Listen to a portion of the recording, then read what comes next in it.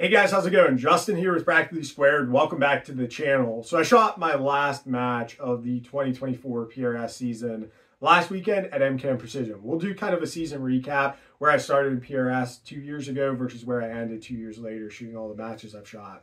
But that's for another video. Today's video, I was talking with a shooter who's relatively new to the sport, and what he was talking to me about is what he needs to work on over the off season. And whenever somebody struggles to find what they need to work on, what I like to ask people is, what do you think is the most important thing to be good at at PRS? Like, what do you need to do to put yourself in the best position to succeed? What are the core aspects of skill sets that you need to have? And I'll ask you guys that question. Pause the video, post down in the comment section below what you think is important to win a PRS match. So getting into it, what I see a lot of newer shooters say, or what I hear a lot of newer shooters say, is that, oh, it's wind. Wind reading is what's holding me back. And while I think wind reading is a very important aspect of long range shooting and PRS shooting in general, if you're an East Coast shooter like myself, I shoot a lot at MKM Precision, which is a hard range to shoot at. But the wind, it, it, the wind's switchy, but the wind's not very high numbers. Like generally, we're holding two to three tenths left to two to three tenths right, given you know normal target ranges, four to seven hundred yards. So we're not holding a lot of wind. So if you could just predict wind angle, you're going to be pretty good. And even if you aren't, even if you suck at wind reading, if you send every shot in a match, every first shot straight up, and just read where you hit or where you missed and correct the center, you're going to get nines on every stage. And if you drop one point in every single on every single stage, you're going to pretty much be guaranteed to be in the top 20, top 10 of a PRS match, right? So if you could just chip away at all the other stuff, the wind reading is going to kind of come along. And whenever somebody asks me what I think they should work on, I came up with a little list. If I can't figure something out or if I'm struggling to understand something, I like to write it out. It just kind of helps me. And I also like to put a number to everything. So what I did was I wrote down what I think is important to win a PRS match. And what I think is important are the fundamentals of marksmanship, as well as three other things that I added. I think you need to be able to read where you hit or where you miss on the target. I think you need to be able to build a position quickly and efficiently. And last, I think you need to have wind reading. So everybody says the fundamentals of marksmanship a different way. So let's take a second to break down. I took Andy Slade's class, and Andy Slade explains the fundamentals of marksmanship in an acronym called BRASS TF. Breathing, relaxation, aim, sight alignment, sight picture, trigger control, and follow through. Taking a second to digest all of those. Breathing is simply breaking your shot at your natural respiratory pause. Relaxation, bone on bone support, being square to the target, being comfortable, being able to stay calm. All that's part of relaxation. Aim is natural point of aim. You want to be square to the target, not bladed. You want to have, you know, point your rifle at the target. That's going to help with your target acquisition and stuff like that.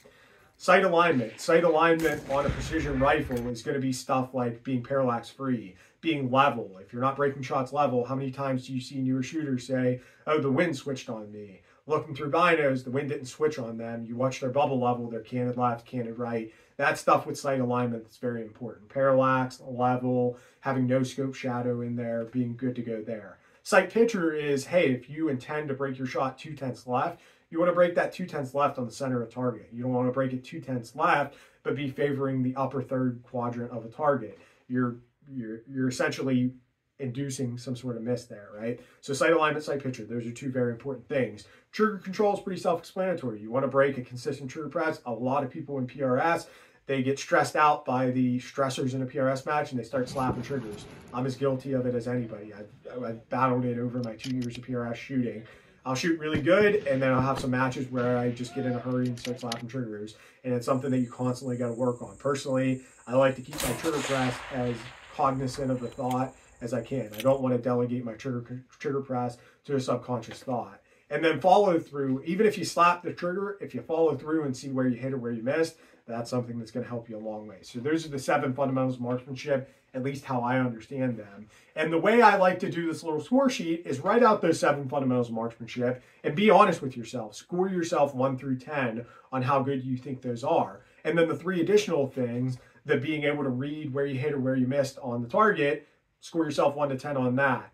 Score yourself on how good you are at building a quick and efficient position. Lastly, score yourself on wind reading. That's, this is going to give you a rating out of 100, and it's going to kind of give you your Madden rating for how you are as a shooter. And what you could do is you could look at that and say, say maybe you think your natural point of aim is like a five.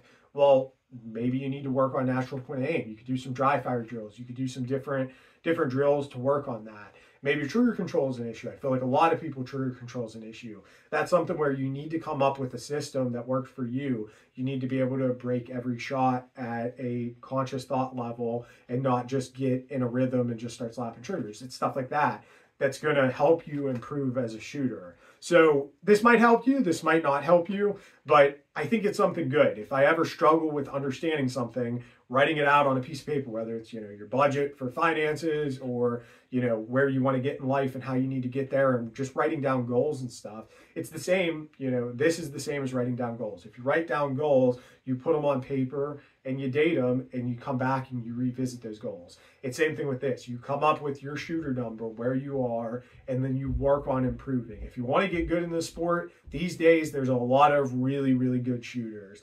Like if you're in the top 20 at a big one day match, you should be pretty proud of yourself because I mean, the shooters at these matches are very, very good. And two to three impacts could be 20th place to third place, 20th place to first place, depending on the match. So chipping away one impact at a time, one skill set at a time is really how I feel that you get to the top. And I'm not a top level shooter by any means, but I'm working there. So guys, hopefully this video helps you. If it does, let me know down in the comment section below. I got a lot of stuff planned for you over the off season. I know I haven't been posting a lot, but I'm going to try to post some videos here regularly over the off season, getting ready for 2025, which we're going to hit it pretty hard. Guys, thanks for watching. As always, remember to like, share, subscribe. Go take a look at some of my other videos. Also, remember to train hard, shoot fast, and be safe. Thanks.